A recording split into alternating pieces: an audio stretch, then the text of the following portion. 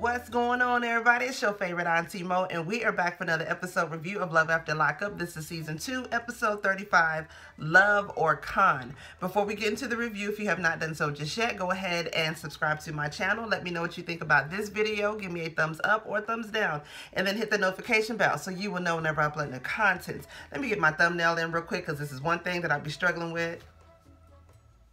Okay, we got that. So, y'all, this episode was good. Finally, we get to figure out some secrets and what's going on with everybody. So I'm just ready to get on into this review because I do not want to make this review long at all because it is way early in the morning. So hopefully y'all are ready for the review because I'm ready to give it to you. So let's get right on up into it. All right, y'all. Lizzie and Daniel. So Lizzie, um, not Lizzie. Daniel and his mama, they on their way to the jewelry store because he wants to pick out a little ring to give to her. He's looking for a promise ring, right? Mama's going with him because A, he ain't got no damn job. And she's volunteering to, you know, buy the ring because, you know, she wants to be there to support Daniel, whatever Daniel wants to do. Even though she don't like a damn thing about Lizzie and she feel like Lizzie is not who the one is for her son, she's still going to be there to support her son regardless of what's going on, right? So they get to the little jewelry store or whatever, and he finds this little ring. Now, first they're looking at some other rings, five, six hundred, seven dollars. Mama ain't got money like that, and she ain't got no damn money to spend, even if she did have it like that, right? He telling her, um, the jeweler that he's looking for something like a hundred, hundred twenty dollars, something like that. He ends up finding her this little ring with this little heart, this little itty bitty diamond on whatever it's about $200. Mama say 200 that's as far as I'm going to go. It is what it is, right? Now, what he's not telling Mama is that's really going to be an engagement ring, and he plans on um, proposing to Lizzie later on that night. Now, once Mama find out about that, she going to lose her shit she gonna act a plumb damn fool. Cause producers ask mama, like, how would you feel if this was, you know, if this were an engagement ring? Would you be here to buy an engagement ring if this is what Daniel wanted to do? And she's like, oh hell no, absolutely not. Cause he ain't ready for marriage. She damn sure ain't ready for marriage. So no. Mind you, there's still a whole bunch more secrets that we don't know about goddamn Lizzie ass that she's still keeping from him.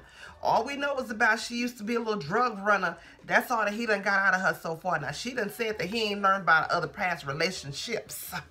Okay, so she still got a whole bunch of other skeletons up in that goddamn closet. Mama ain't here for it. And mama gonna act a plumb goddamn fool once she finds out that he's gonna propose to her. Now, he said he don't want to tell his mama because, of course, he know his mama ain't gonna be here. Not for that bullshit there. So he wants to tell his mom after he proposes to Lizzie that they engaged. So y'all, mama gonna act a plum ass when she finds out and I'm gonna be here for it. Angela and Tony.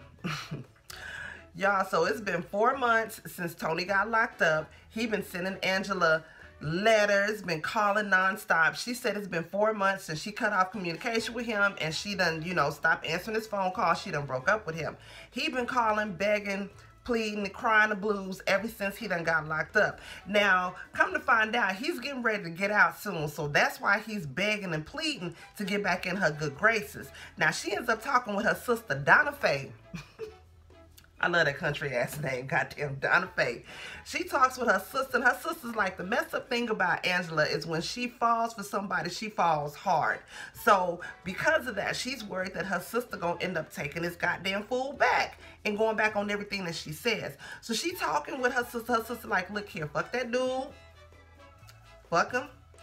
Don't have nothing else to do with his ass cut his ass off because you already know that he gonna end up doing this shit again so don't even do it now she ends up going on a ride on this motorcycle that she bought him bought this nigga a whole motorcycle and you done messed up something good like that, Tony, really? So she ends up going on a little ride on the motorcycle, trying to clear her mind and all this little shit or whatever. She get back to the crib.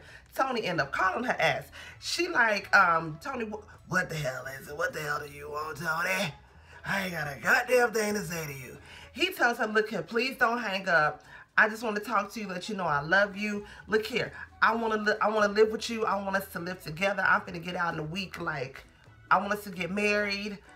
I want us to uh, have babies, smoke a carton of cigarettes every day, drink a 12 pack of Schlitz malt liquor. I want us to do the damn thing. She like, look here. I don't know if I can believe you. You've, it's this other chick and you didn't tell me anything about her. Like, She ain't trying to hear nothing that he goddamn say. But he ends up running game on her ass. He tells her that he'll never do it again, that he wants to get married. She's the best thing that ever happened to him, and that now back up. She does say that, you know, since she broke up, cut off communication with him, she stopped sending him money. So does that mean when he got locked up again the second time, you were sending this nigga money? Like, he still has a hold on her ass. Because as he's giving her this whole goddamn sob story, you can kind of see her breaking down. And I was like, Angela, don't goddamn fall for it. Because she's a smart woman. She got a cute little body, little figure on her, all of that. Face look like she been smoking a carton of Pall Malls a day since she was like 14, 15 years old. Or some Benson and Hedges or some of them brown cigarettes. But she looked like she been smoking at least a pack and a half a day since she was like nine years old. But, but like I said, she got a cute little body and she's smart. She obviously got a good job because she got plenty money because she got plenty of it to send in his goddamn ass. So I'm hoping that she not dumb and that she don't fall into it. But like I said, you can slowly see her breaking down. So before she gets off the phone with him, she's like, look here, I gotta go. I can't talk to you right now. He's like, okay, well, well, I love you. She's like, bye. I'll talk to you later. I'll talk to you soon. Why you gotta talk to him soon, Angela? Why? For what? Why sway? You need to cut his ass off altogether. Be done with it. Or this, he just gonna keep on doing the same goddamn thing. But you know what? Hopefully, like I said, hopefully she has made the right decision. And this is just what's going on right now. And when they do a little recap or whatever, they follow up, she ain't with him. Because, child, she too grown and she too smart for that. Amber and Vince. Okay, so Amber gets a call from Puppy. She tells Puppy, look here. The jig is up, bitch. I can't keep this shit up. I cringe at the thought of this man touching me. I can't marry him. He crazy as hell. He weird as hell. He nuts. So I can't do the shit. Puppy telling her like, look here, bitch.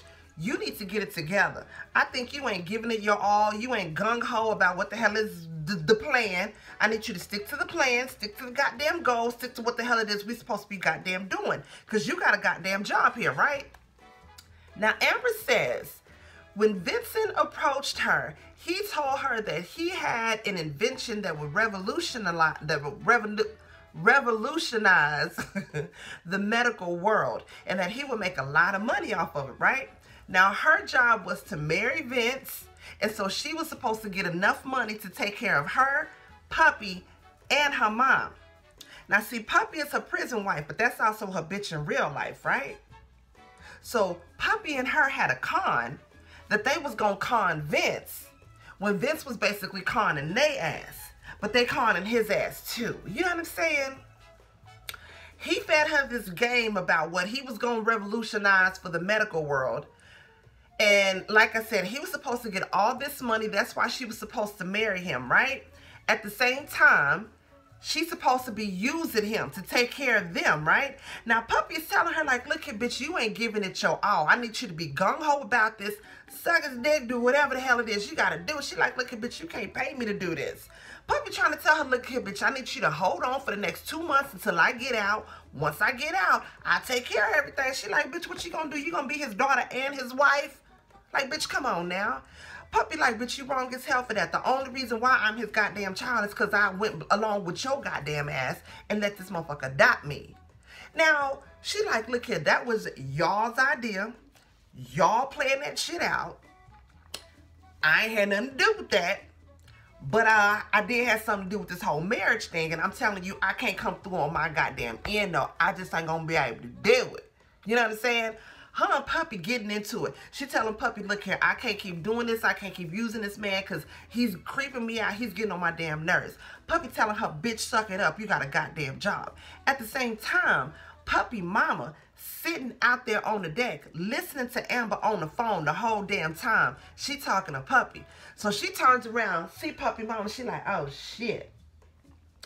Son, your mama listening in the whole time. Uh, I don't know what else she heard, how long she been there, but uh, yeah, bitch gotta go. She like, bitch, here, I'm finna go, but I need you to lay it low and spread it wide, bitch. We got a goddamn job. So she hangs up the phone from there, y'all. I told you, we already knew that it was a con going on, but I'm ready for Puppy to get out. Because Puppy gonna bust this thing wide open, and I'm ready for her to bust this goddamn shit up.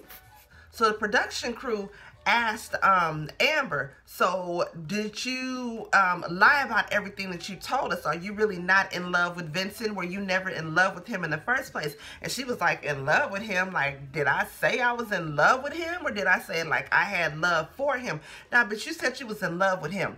She said maybe in the beginning she was in love with him, but as, you know, the minute she got out, the minute she seen him, she already knew the shit wasn't going to work. So, y'all like I said, we already knew it was a whole goddamn con going on. The whole damn jig is up. So I'm just ready for Puppy to get out so Puppy can go ahead and uh spill the beans on the rest of this goddamn shit that's going on. Glorietta and Alex. Okay, so Alex has been out for three weeks. Glorietta getting all dolled up. She getting ready to go with her homegirl. She finna go dress shopping or whatever, right? Alex is on the phone with his homeboy Kato. He like, look here, I'm finna slide through. I'm gonna call you. You know what I'm saying? You gonna pick me up. We gonna slide or whatever, right? Kato like, all right, cool, my nigga. I see you later. Alex say, all right, my nigga. I see you in a minute. I was like, er? Did he just say my? Nah, he didn't. Let me rewind this shit back. All right, I'm gonna come pick you up. We gonna slide through or whatever. Boop, boop. You pick up, we gonna slide. He said, all right, my nigga. All right, my nigga. I said, this white boy just said my nigga. And look here, I'm going to say this and I'm going to say this one goddamn time, and it is what it is, and I said what I said. Don't nobody come for me because I ain't sending for you. This is just my opinion. This is my channel. I can say tell what I want to goddamn say. Alex and other fair-skinned individuals from the same heritage and culture as Alex have no right whatsoever to say nigga. My nigga, yo nigga, they nigga, that nigga over there, did y'all see that nigga? That nigga run fast as hell. That nigga just jumped over that fence. That nigga just stole that lick up out that stove. That nigga just hit that nigga in the mouth. You have no right, no struggle, no oppression, no reason to say my nigga. I say nigga period. It is what it is. I said what I said. And we gonna move on from that. He ends up meeting up with Kato. Kato tell him, look here. Because he tells Kato that he wants to go meet up with his ex, Juliana, to see what the feelings are between them. See if there's still anything there between them. Now, I like Kato. Kato, he, he was a real dude. He was like, look here, why do you want to go and meet up with her and see if there's any old feelings going on between y'all? You finna marry Glorietta, right? He was like, yeah, I'm finna marry Glorietta. He was like, so you love Glorietta, right?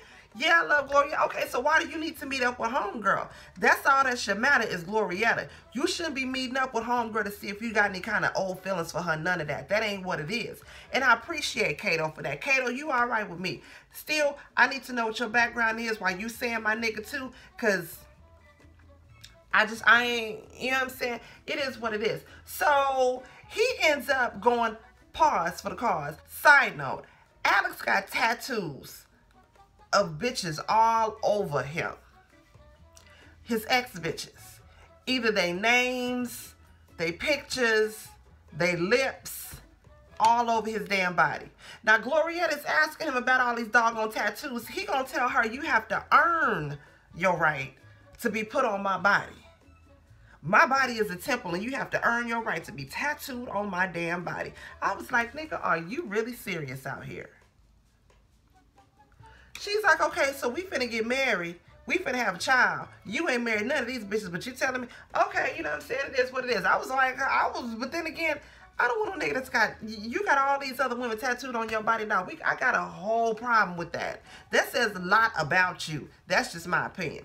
So y'all, while Glorietta is out with her homegirl looking at dresses, this fool is at the coffee shop meeting up with his ex, Juliana. Now, as soon as he sees her, he's like, man, she look beautiful. She's got a body I ain't never really seen before. She got a glow and a smile I ain't never really seen before. Turns out Juliana been in rehab, getting herself together. Now, I don't know what it was she was addicted to, but the girl looked good. I give her that, right? So he says that when he got locked up, they were still together, but they kind of fell off. So They sitting down, they having coffee. He reaching out, touching her hand and all of that. And I'm like, nigga, what is you doing? What in the hell is going on? What is you doing?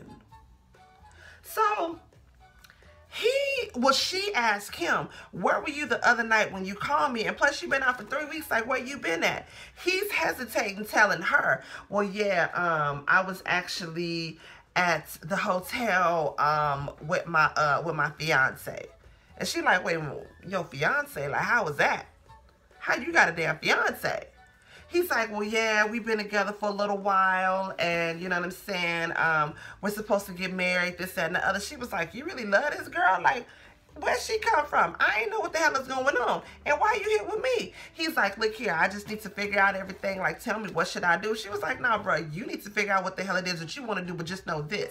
I ain't no sideline hoe. I ain't no second place bitch. So you need to figure out what the hell it is you want to do, and I don't mess with men that's not available to me any damn way. So you figured out what the hell it is that you need to do, and I'm going to holler at you later. But homegirl either said, child, I know he going to be back over here doing what it is he got to do, but he needs to figure that shit out right there. Lacey, Shane, and John.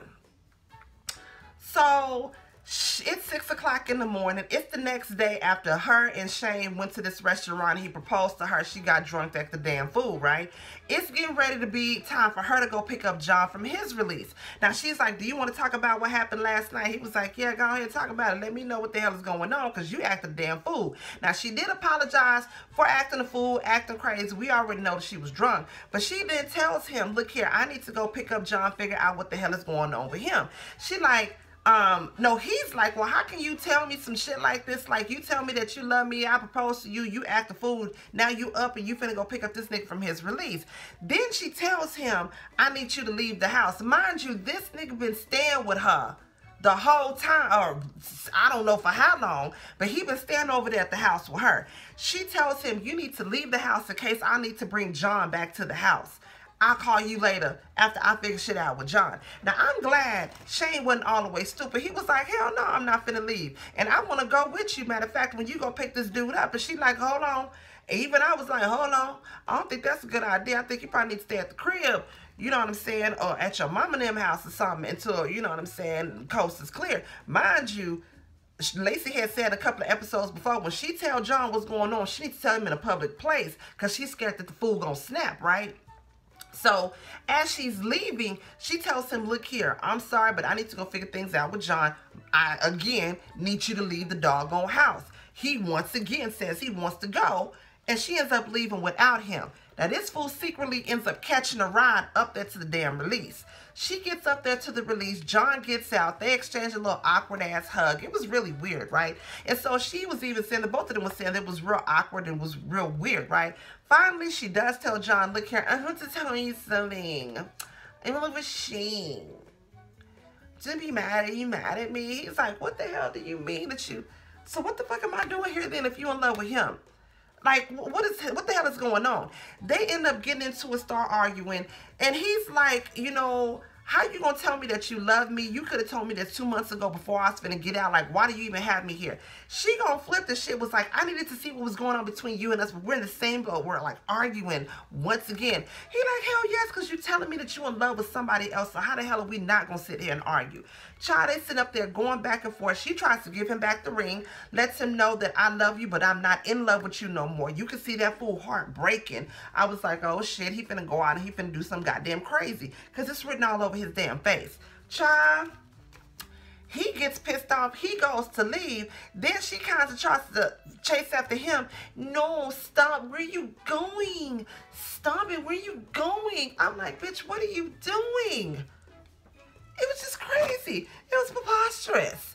So he finally, he says that he was paroled to her house, but he gonna change his parole to his parents' house because now he don't want nothing to do with her. They done broke up from there. She says she's ready to go back to Shane and let Shane know what's going on. Child, next thing you know, Shane ends up walking up. John looking like, what the hell is going on? this goddamn Lacey looking like, oh shit, I'm caught up in something. The episode ends from there. Y'all know how WE tv do. They hype us up, get us to the good damn part, and they give us blue balls at the end. Every doggone goddamn time. Y'all, but the episode ended from there. This episode was good. Like I said, finally we got some secrets revealed. We heard, we figured out what the hell was going on with a lot of shit that we already goddamn knew. All right. If it was anything that I missed, please don't forget to put it down below and let me know, y'all. Please don't forget like, comment, subscribe, share. Follow me on my social medias. They are down below in the description bo uh, box. and Auntie Mo will see y'all in the next video. Peace out. What's up, y'all? Do me a favor and share the video. Please make sure to subscribe to my channel. Let me know what you think and um, hit that notification button so you will be up to date when I upload my latest videos. I holla.